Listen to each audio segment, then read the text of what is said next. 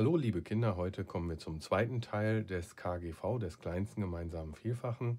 Im ersten Video hatte ich euch gezeigt, wie man von kleinen Zahlen das kleinste gemeinsame Vielfache dadurch findet, dass man die vielfachen Reihen der einzelnen Zahlen aufschreibt und dann schaut, welche gemeinsamen Vielfachen gibt es und das kleinste dann davon, das kleinste gemeinsame Vielfache, das schreibt man sich dann raus, indem man einfach dahinter schreibt KGV.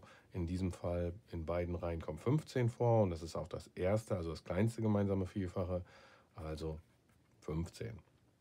Bei größeren Zahlen wie hier bei 70, 42 und 50 würde man sich sehr viel Arbeit machen, wenn man jetzt die vielfachen Reihen aufschreiben will, so lange bis man das kleinste gemeinsame Vielfache gefunden hat. Das geht recht einfach mit der Primfaktorzerlegung.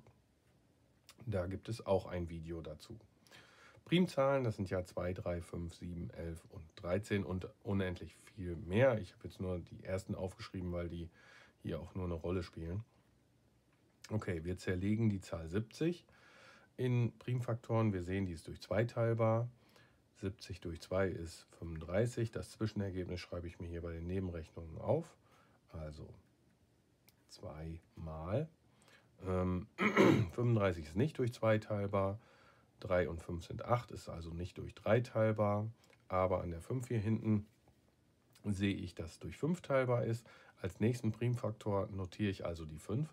Und jetzt lasse ich ein bisschen Lücke, denn sollten hier mehrere 2 oder noch eine 3 auftauchen, dann müsste ich die dazwischen packen. Also ich darf mit meinen Primfaktoren nicht äh, durcheinander kommen. Ich lasse also Platz. So, und wenn ich 35 durch 5 teile, kommt 7 raus. Das ist ja schon eine Primzahl. Die schreibe ich auch wieder mit Lücke nach hier hinten. So habe ich genug Platz. Dann zerlegen wir ebenfalls die Zahl 42. Die ist durch 2 teilbar. Kann ich hier hinschreiben. So, jetzt ist ganz wichtig. Ich habe einen gleichen, also einen identischen Primfaktor gefunden. Den schreibe ich auch unter dem Primfaktor, den ich da, da drüber gefunden habe. Und zwar unter diese, denselben Primfaktor. Also ich habe hier auch die 2 gefunden, hier gab es auch die 2, schreibe ich übereinander.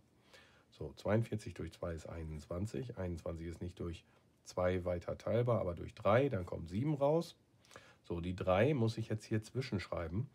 Aufgepasst, es könnte ja noch eine 2 vorkommen, dann müsste ich die noch hier hinschreiben, also hier auch wieder ein bisschen Platz lassen. Aber die darf auf keinen Fall hier hinten hin. Ich darf nicht überholen. Also die Reihenfolge der Primfaktoren muss erhalten bleiben. 2, 3, 5.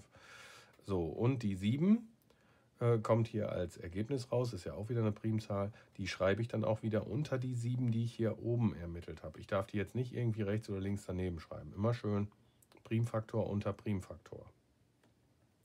Okay, dann habe ich die 42 auch in Primfaktoren zerlegt.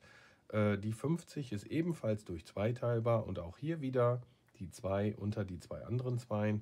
Ähm, und dann kommt 25 raus. 25 äh, ist nicht durch 2 weiter teilbar, auch nicht durch 3, dann durch 5 aber.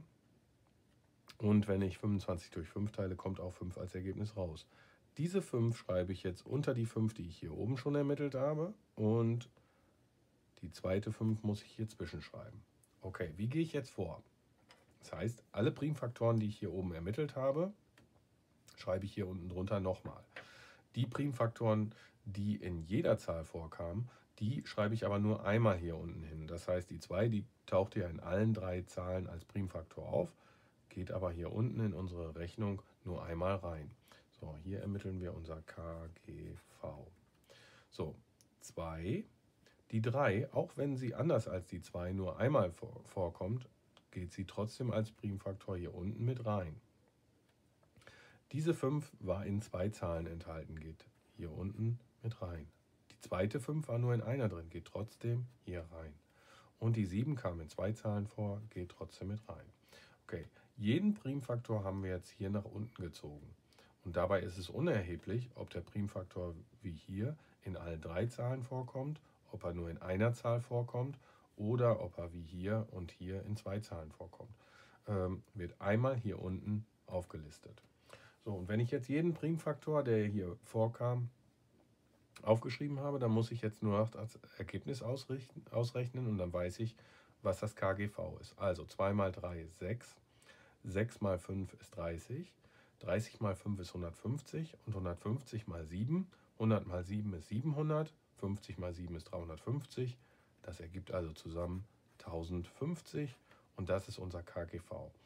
Das geht wesentlich schneller, als wenn ich jetzt von jeder Zahl hier die Vielfachen Reihe aufgeschrieben habe, hätte um äh, dann herauszufinden, welches das kleinste gemeinsame Vielfache ist. Okay, das war's dazu.